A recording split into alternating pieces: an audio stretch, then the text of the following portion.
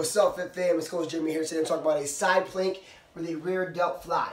So this is 93rd and needle. You're not going to rotate into that movement. You're going to come up, stack, stagger, or bend that knee. From here, you're going to come here to the side. You want to come up, hit that fly, right back down. Hit that fly, right back down. Now, if they have weight at home, recommend use your light weight on this one as you go with this movement. Engage your obliques, really get that squeeze again, pressing that belly button to your spine. You're gonna hit that fly as you drop the elbow back, come back down in control. Keep that core engaged as you hit that rear delt fly. Incorporate that weight for people that wanna add a challenge that you got for your side plank with that rear delt fly. Good luck.